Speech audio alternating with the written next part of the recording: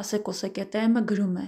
Բա վրաերթի ցեղի կնոջ մահվան մեղավորը ինչու չպատժվեց։ Facebook-յան եթերով անդրադառնալով զոհվածին ծառայողի մորը Գայանե Հակոբյանին կալանավորելու հարցին ասել է երգչուհի Շպրոտը. Այսինքն միտեղ վատարարքը չպատժվեց, մյուս տեղը պատժվեց։ Այսինքն այս երկրում արդարություն չկա, հարց է ուղղել իշխանությանը երգչուհին։